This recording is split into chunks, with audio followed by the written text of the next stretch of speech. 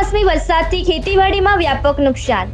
ઇકબાલગઢ પંથકમાં અસહ્ય ઉકળાટ તથા મેઘરાજાની વિદાય બાદ મેઘરાજાની ફરી એન્ટ્રી. પવનના સુસવાટા સાથે કાળા ડિબાંગ વાદળો વચ્ચે વરસાદની એન્ટ્રી.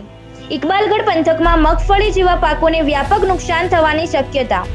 સાંજના સુમારે અચાનક વાતાવરણમાં પલટો આવતા ભારે પવનના સુસવાટા સાથે વરસાદ વરસ્યો.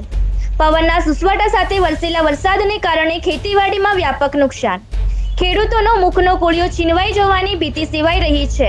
રિપોર્ટર કેતન પટેલ અમીરગઢ.